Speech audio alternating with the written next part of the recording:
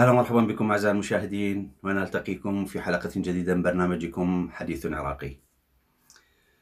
في الأيام القريبة الماضية وهذه الأيام التي نتحدث فيها هذا اليوم الذي نتحدث فيه وربما في الأيام اللاحقة الحديث لا ينقطع عن موضوع تسرب أسئلة الرياضيات للصف الثالث المتوسط في العراق.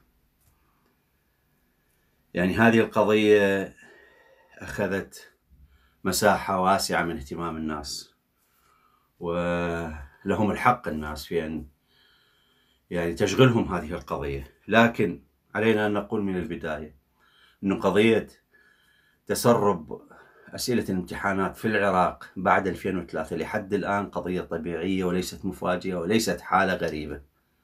في كل سنة يجري الحديث منذ عام 2003 لحد الآن هاي العقدين 20 سنة اللي مضت في كل سنة يجري الحديث عن تسرب أسئلة كثيرة سواء وخاصة في اللي هو نتحدث هذا خاصة في الامتحانات ما يسمى الامتحانات الوزارية سواء في السادس الابتدائي الآن اللي ما أعرف نظامه إيش صار أو الثالث المتوسط أو السادس الإعدادي. يجري تسريب الأسئلة الحقيقة والكثير. في بلد فيه فوضى في, في بلد فيه فساد فيه خراب الوضع طبيعي جداً. وزارة التربية ليست الوزارة الوحيدة التي تلام في هذا الموضوع وهي ليست الوزارة الوحيدة الفاسدة في هذه المنظومة هي جزء من منظومة فاسدة جزء من انهيار كامل من كارثة كبيرة هي ليست لوحدها. يعني لم تكن الوزارة يعني لا يمكن الحديث عن مؤسسة معينة بعينها ونقول أنه هذه المؤسسة من دون كل المؤسسات هي في وضع سيء والباقي المؤسسات هي مؤسسات جيدة. لا. في العراق كل المؤسسات كلها في نفس المستوى من الخراب لأن الفكر الذي يحكمها الرؤية التي تحكمها الرجال الذي يحكمونها ليسوا رجال دولة.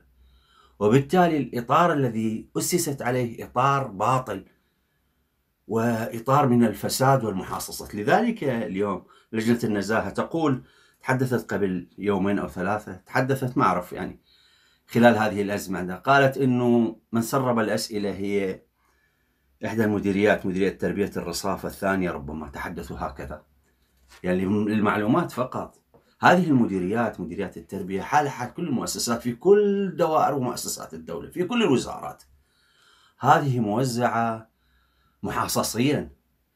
هذه المديرية سواء مديرية التربية مديرية التخطيط مديرية بوزارة الدفاع مديرية بالداخلية ما أعرف وين وزارة الزراعة بأي وزارة أي أي مدير موزعة وفق نظام المحاصصة. هذه الحزب الفلاني وهذه هذه جماعة الحكيم وهذه جماعة بدر وهذه جماعة المالكي وهذه جماعة الصدريين. هكذا. موزعة.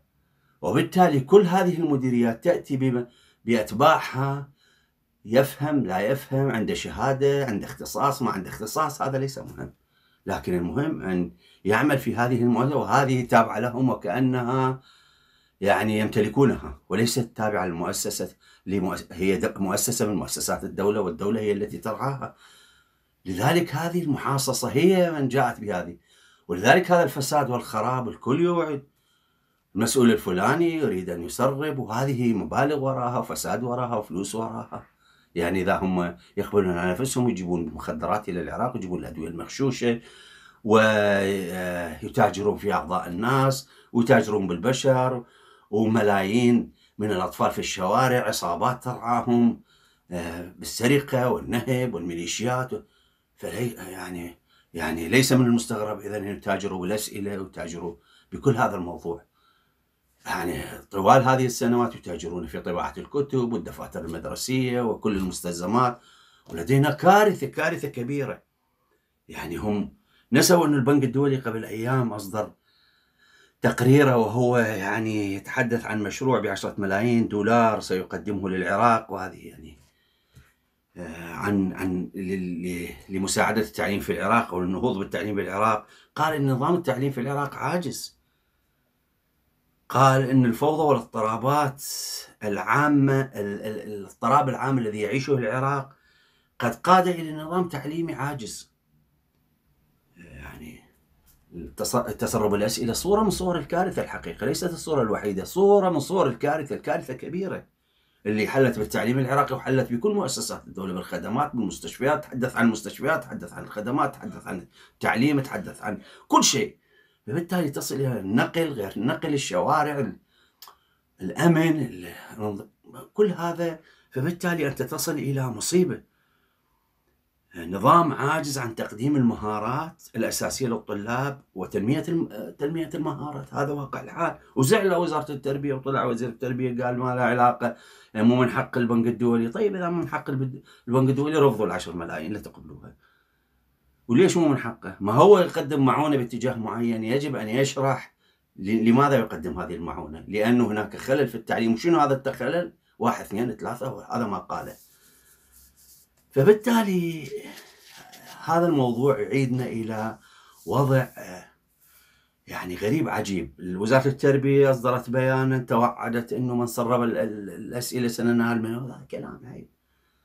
يعني هو من سرب. هذه المنظومة الخربه هي طبيعي أن تتسرب من الأسئلة. وطبيعي أن الطالب اللي يقرأ واللي اهله حريصين عليه هو الذي يدفع الثمن. وسننال منه وبعدين وقفوا الامتحانات أوقفوا كل الامتحانات. لأنه لا الحقيقة الكل بدأ يشك. والطلاب يعني أي تربوي أي أستاذ أي مدرس يحترم نفسه تلتقيه يقول لك أن كل الطلاب المصيبة يتوقعون آه، تسرب الأسئلة بين لحظة وأخرى، الكل يقول لك فما عنده الثقه بالنظام التعليمي، ما عنده الثقه بالنظام آه، كقانون وقياسات وإطار. يحكم بالعدل ويقدم الدرجات ويقدم الأسئلة بعدالة للطلبة، فبالتالي الكل لديهم شكوك في هذا النظام وينتظرون الأسئلة تتسرب، وهي لم تتسرب هذه ليست أول مرة، هذه في كل سنة تحدث. وهذا نتحدث نحن عن امتحانات وزارية. فما بالك بالامتحانات الأخرى؟ ما بالك بالجامعات؟ كارثة كبيرة الحقيقة. وهي جزء من الفوضى التي يعيشها العراق. وهذا هو جزء مما أرادته أمريكا أن يحصل في العراق. هذا جزء من مشروع الاحتلال. هذه الصورة التي وصلنا إليها هي ما أرادت أمريكا أن يصل إليه العراق وما أرادت الدول التي عاونت والتي تعترف بهذا النظام وتعترف بهذه الحكومات التي جاءت من عام 2003 لكي نصل إلى هذا هذا المستوى. أما دعك من نظام سابق ونظام ملكي وجمهوري ودكتاتوري. دعنا من هذا الكلام. لكن المهم الشعب العراقي. من يدفع الثمن؟ يدفعه أهل العراق. في ظل غياب الخدمات في التصحر في ظل غياب الماء الكهرباء الخدمات التعليم المستشفيات ما الذي يوجد يعني لماذا أهل العراق يعني يؤخذ منهم كل شيء؟ لماذا يسحب البساط من تحت أقدامهم؟ هم أغنى دولة في الدنيا يقفون على أغنى أرض في العالم وهم الفقراء.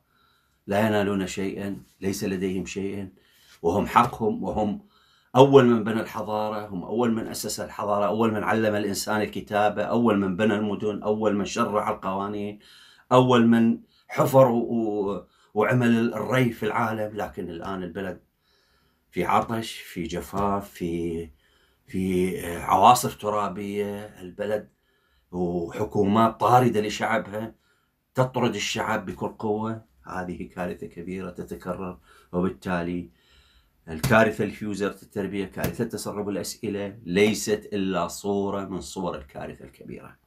وقت هذه الحلقة قد انتهى. أترككم بخير. والسلام عليكم ورحمة الله وبركاته.